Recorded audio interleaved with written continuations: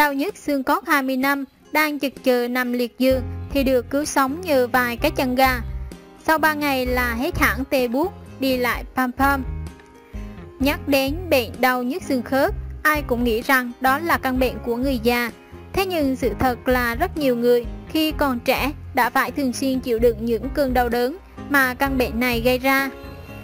Em có quen một người bạn bị đau khớp chân từ lúc mới lên 10 tuổi.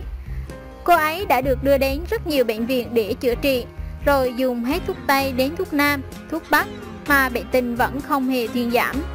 Có lần em đến chơi, thấy bạn ấy lết từng bước chân đau đớn, trèo lên bậc cầu thang mà thương bạn ấy lắm. Nàng ý kể, cứ trở trời lạnh là hai chân tôi đau như kim chích, hai khớp gối sưng vù, đúng là đau thấu xương thấu tỉ. Ấy vậy mà hôm vừa rồi em nhận được cuộc điện thoại của bạn ấy mời đi đám cưới. Em thoáng chút bất ngờ, nhưng cũng rất mừng cho nàng ý. Tiện đó em có hỏi thêm về tình hình sức khỏe, thì được biết là nàng ta đã chữa khỏi bệnh xương khớp chỉ nhờ bài thuốc đơn giản từ chân gà và đậu phụng. Nàng ta bảo, từ lúc áp dụng bài thuốc này thì thấy đỡ đau xương khớp hẳn, đi lại bình thường, thậm chí là có thể chạy nhảy, leo cầu thang, nhanh mà không hề đau đớn. Em tò mò hỏi luôn về bài thuốc chữa đau nhức xương khớp, Thì nàng ấy cũng nhiệt tình chia sẻ luôn. Bài thuốc rất đơn giản thế này nhé. Nguyên liệu cần chuẩn bị. Ba cặp chân gà. Dùng chân gà ta hay chân gà công nghiệp đều được, Nhưng chân gà ta thì tốt hơn. Một, bát lạc, hay còn gọi là đậu phụ khô. Cách bài chế thuốc. Cách nấu và liệu trình sử dụng. Cho ba cặp chân gà và một chén đậu phụng hầm chung với một lít nước hoặc hơn một chút. Đun nhỏ lửa và hầm từ 1 đến 1,5 tiếng là được.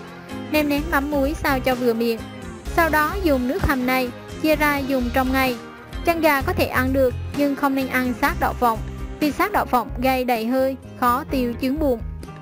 Mỗi ngày dùng một phần như thế, ba cặp chân gà hầm cùng một chén đậu phụng. Dùng liên tục như thế trong vòng một tuần liền.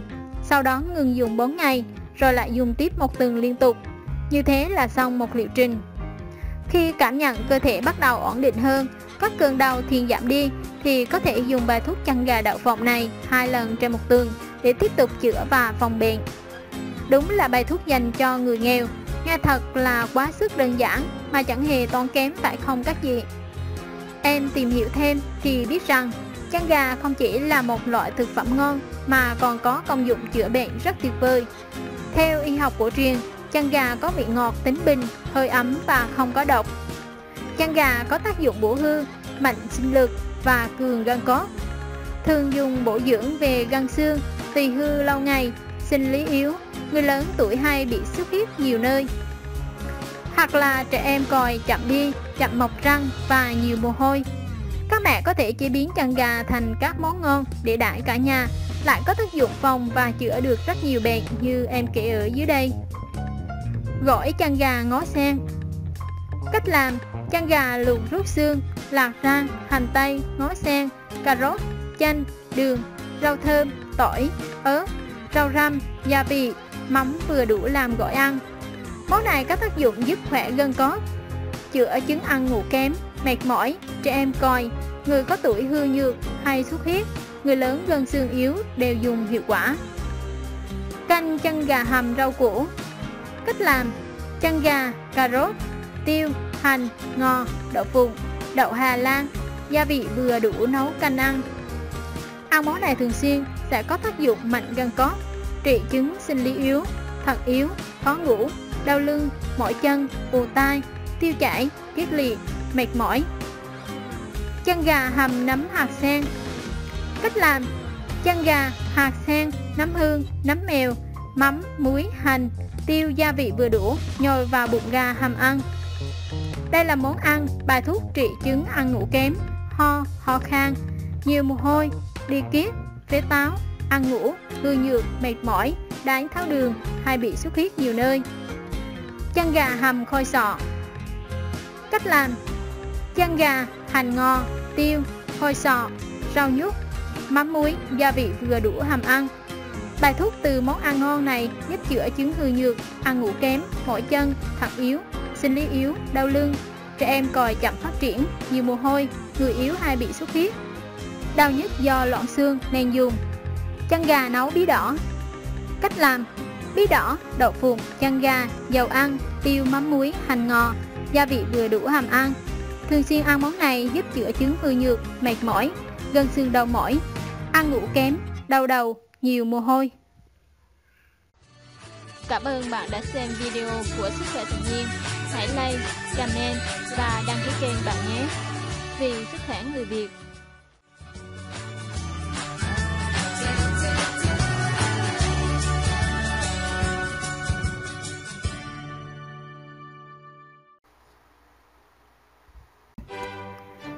Top 5 loại rau củ ngậm nhiều hóa chất nhất mẹ nên tránh cho con ăn kẻo rước ung thư vào người.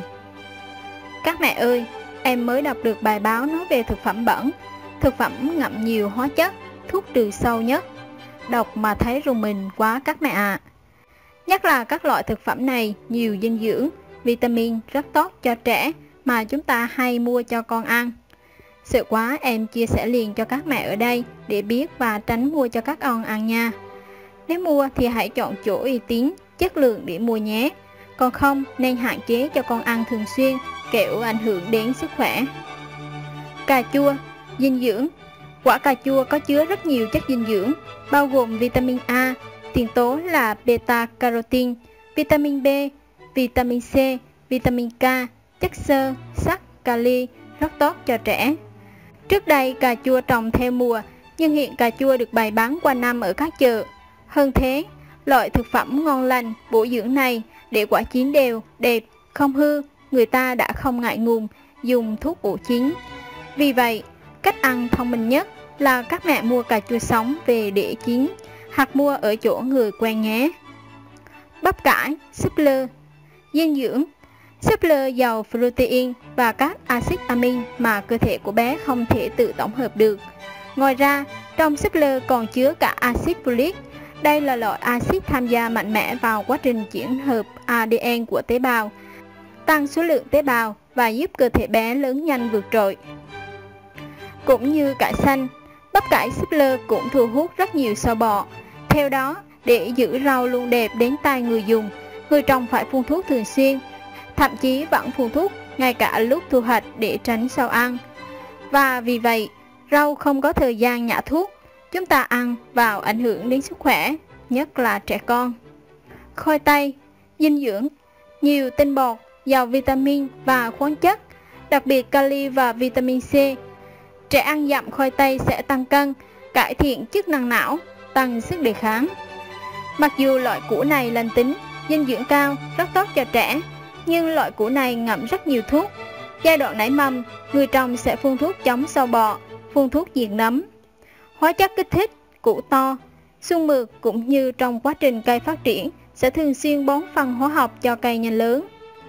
Rau muống Dinh dưỡng Trong 100g rau muống có tới 100mg canxi, 37mg phốt pho, 1,4mg sắt, 0,7mg vitamin PP, 23mg vitamin C, vân vân là những dưỡng chất giúp trẻ nhỏ phát triển toàn diện, chống thiếu máu, bổ sung các vitamin giúp cơ thể khỏe mạnh, tăng khả năng miễn dịch, chống bệnh tật.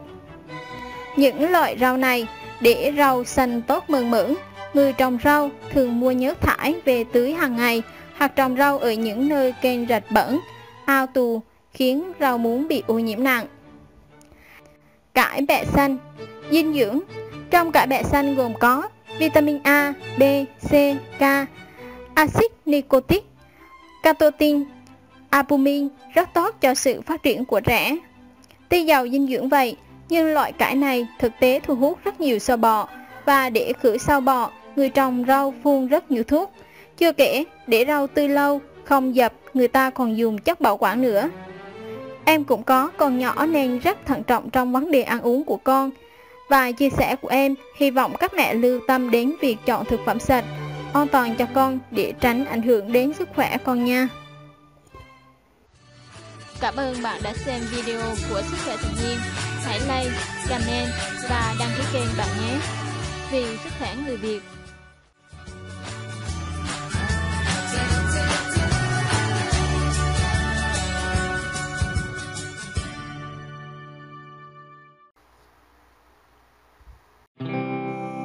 Được người ta mất thái nhỏ vỏ chanh trộn với thứ này, mẹ em đã trị tận gốc bệnh xương khớp, vừa đơn giản lại có thể làm tại nhà luôn nhé. Bị viêm khớp bao lâu, mẹ em mới tìm ra giải pháp trị sạch tận gốc bệnh chỉ bằng vỏ chanh, đơn giản hiệu quả và dễ làm. Chanh là một trong những loại trái cây thuộc họ cam chanh, rất giàu vitamin C, nên rất tốt cho sức khỏe. Thế nhưng đến giờ, em mới biết công dụng này của vỏ chanh đó các mẹ ơi. Trước giờ em đang dùng chanh làm nước uống, làm đẹp từ nước cốt chanh hay dùng trong chế biến món ăn, đồ uống. Riêng về vỏ chanh thì thỉnh thoảng em có làm mứt hay làm tinh dầu đột cho thơm thôi. Nhưng mà gần đây em mới phát hiện ra một công dụng mới từ vỏ chanh nè các mẹ. Chuyện là mẹ em vốn mắc bệnh đau nhức xương khớp đã lâu và hầu như phải uống thuốc mỗi ngày. Tuy nhiên, uống thuốc nhiều sẽ kèm theo các tác dụng phụ mà bất cứ người bệnh nào cũng không mong muốn. Đặc biệt là tình trạng giữa nước và đau nhức về đêm. Vì vậy, mẹ em thường dùng dầu, nước xanh xoa bóp mỗi tối thì mới mong ngủ yên được.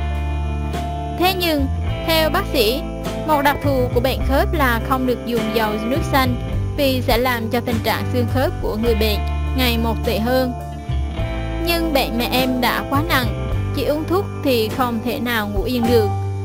Thế vậy, bác sĩ điều trị đã hướng dẫn cho mẹ em một cách cắt đứt những cơn đau nhức xương khớp hiệu quả mà không cần đến dầu nước xanh hay bất cứ loại thuốc dùng ngoài da nào thêm cả. Và đó chính là vỏ chanh đó các mẹ.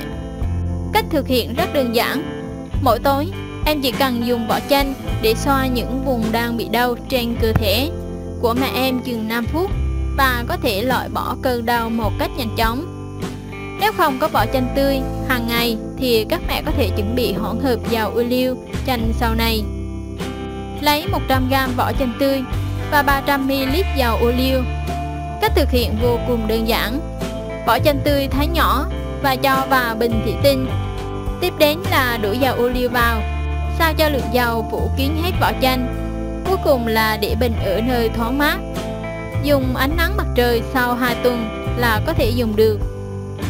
Mỗi tối em sẽ lấy một ít dầu ô liu chanh xoa vào chỗ đau. Cảm giác đau nhức sẽ giảm nhanh sau ít phút. Mỗi một lọ như vậy sẽ dùng được khoảng trong vòng 6 tháng. Nếu dùng hết thì bỏ đi, làm lọ khác nhé mọi người. Theo các chuyên gia, chanh không những tốt cho sức khỏe, mà vỏ chanh cũng mang lại lợi ích không kém. Nó đóng vai trò là một chất khử trùng và khoáng khuẩn mạnh, sẽ chống lại các bệnh nhiễm trùng khác nhau. Đồng thời, nó cũng giúp cho các mạch máu được thả lỏng và làm giảm các cơn đau khớp. Hãy bỏ túi hai cách chữa đau khớp đơn giản nhanh chóng với vỏ chanh sau đây. Theo nhiều chuyên gia dinh dưỡng cho biết, vỏ chanh chính là thứ tốt nhất của quả chanh vì nó có chứa đến 22 chất khác nhau như limonine, vitamin C, citrus pectin có tác dụng phòng chống bệnh ung thư. Ngoài ra, nó còn chứa nhiều tinh dầu và chất chống oxy hóa. Nhờ bài thuốc vô cùng đơn giản từ vỏ chanh này mà tình trạng đau nhức xương khớp của mẹ em đã được cải thiện đáng kể đó các chị ạ. À. Mỗi tối cứ lấy ra xoa lên chỗ đau nhức là có thể ăn ngủ ngon giấc rồi. Không những vậy, vào buổi sáng em còn pha thêm cho mẹ một ly nước chanh để nạp năng lượng cho cả ngày dài, đồng thời giảm nguy cơ béo phì, tiểu đường và bệnh tim mạch cho mẹ luôn. Nhờ kiên trì kết hợp sử dụng dầu ô liu chanh với liệu trình trị bệnh mà bác sĩ đã đề ra, nên gần đây bệnh của em đã khỏe hơn rất nhiều, em mừng lắm. Em thấy bài thuốc này hay và đơn giản nên lên chia sẻ với mấy chị nè. Chị nào có tình trạng bệnh tương tự thì áp dụng ngay đi nhé, hiệu quả lắm. Cảm ơn bạn đã xem video của Sức khỏe tự nhiên. Hãy like, comment và đăng ký kênh bạn nhé. Vì sức khỏe người Việt.